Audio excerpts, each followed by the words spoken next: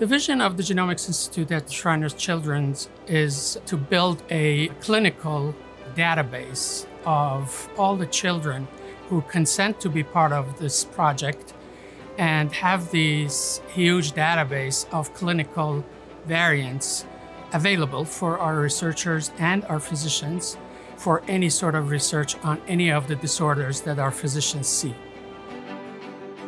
Shriners Children's is a healthcare organization. It has specialty care in orthopedics, cleft lip palate, burns, neuromuscular disorders, and other diseases as well. We have locations all over North America, stretching from Montreal to Mexico City, as well as outreach clinics going from Cyprus through Central America and other locations as well. Because of our reach, that diversity is built in to the samples we collect from the patients we treat at Shriners Children's. Diversity is a key point to respect in genetics. As we all know in the community, the genetics of each ethnic background has slight differences. And as a result, the mutations that are associated with disorders can be different from one ethnic background to another. By getting the highest level of diversity in our research project, we are hoping to have access to an international level of genetic information so that we can find those different variants for a given disorder in different populations in the world. Genomics is revolutionizing healthcare because it's giving us information that we didn't have previously. The technologies built over the last 10, 15 years have moved us from looking at a rare disorder with a single gene defect to now how do we use genetic information from the whole genome, which is 3 billion base pairs of DNA, in disorders that are more complicated?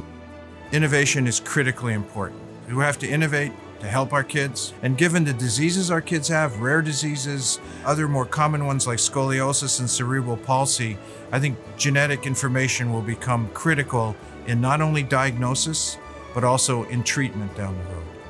We are a team of six people here we're all PhD level researchers with various expertise that complement each other. And at our network of hospitals and clinics that we have at Shriners, all our physicians are world renowned experts in their respective fields. We are very fortunate to have cutting edge technology. Our new NovaSeq sequencer, we can sequence 160 whole genomes in two days. And because we have thousands of samples to sequence, that allows us to go faster, get the results more quickly. We also have bioinformatics capabilities, which are key to genetics in interpreting the data coming out. This technology is allowing us to make discoveries that are going to change the lives of the kids we treat. Shriners Mexico is unique because of its population. Most of our patients have a complex disease. So the interesting thing is to study this genetic basis with the whole genome sequencing and also to understand the same disease but in other patients. It is important to have sequencing the parents because when we have trio samples, it's easier for the sequencing methodology to identify some of the variants that are disease-causing mutations. Arthrogryposis or arthrogryposis multiplex congenita is really a term that means being born with contractures to the joints in multiple different body areas. It is a set of rare conditions because it occurs in 1 in 3,000 to 1 in 5,200 live births. However, at the Shriners, across our different hospitals in the network, we've served a population of over 3,000 children in order to understand more in arthrogryposis, we've started a registry that was funded from the Shriners Children. And we're so proud of this work because it includes hospitals across North America and most recently in Mexico. Following patient consent, we have the collection of saliva, and those are shipped to the Genomics Institute in Tampa for sequencing.